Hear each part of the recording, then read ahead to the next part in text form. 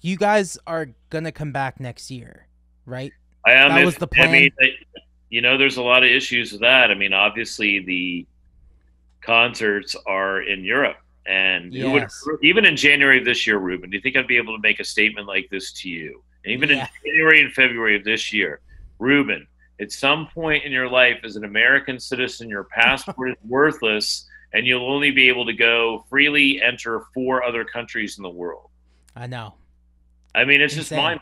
So at this point, obviously, the Primavera Sound thing we're supposed to do this year then got pushed back to Labor Day weekend, and I was very concerned about that because I talked to our booking agent, and he said, you know, these people are really determined to get this to happen, and I was like, whoa, amazing. So like I, like it might actually happen. This is like you know two months ago, and he said, yeah, like depending on how how they're doing with the COVID nineteen, it might actually happen. And I said, wow, that's crazy. He said, well, my big concern is is that, and he had a tremendous amount of foresight. This might have even been more like sixty to ninety days ago. He said, I'm really concerned that they won't let Americans in. Mm. And that I'm sure affected their decision that I would say at least half the bill comes from US and UK Mm. and, and does every year, if not more.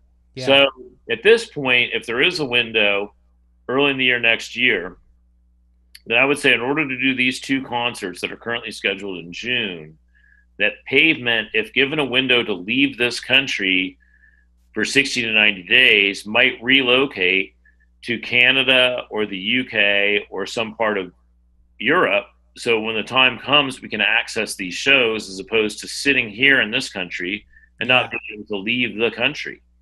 yeah. So yeah, I mean, I'd say that the shows are so important to us, especially postponed one year, and we want to do it and ideally sort of move on to the next thing.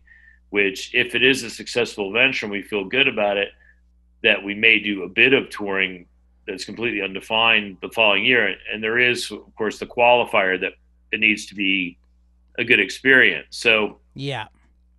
so at this point, yeah, it's very important that for us, I mean, speaking just for us and anybody that cares about pavement, that we can get out of our country and play these two shows. I mean, Yeah.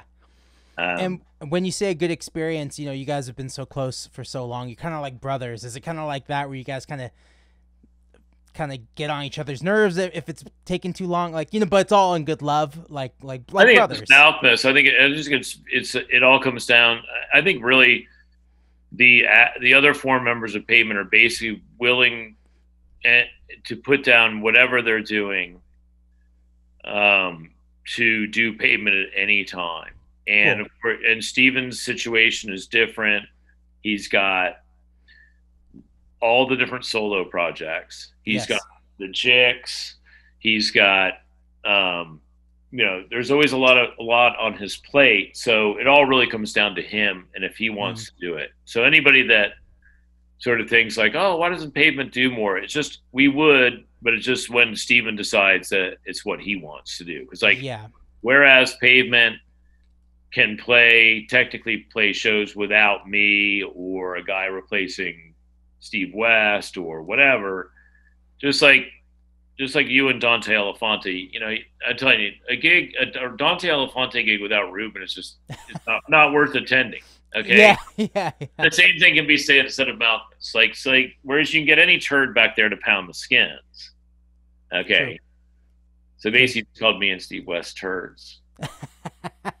you guys are the best But we're turds nice turds. yeah the best Very harm, nicest very harmless.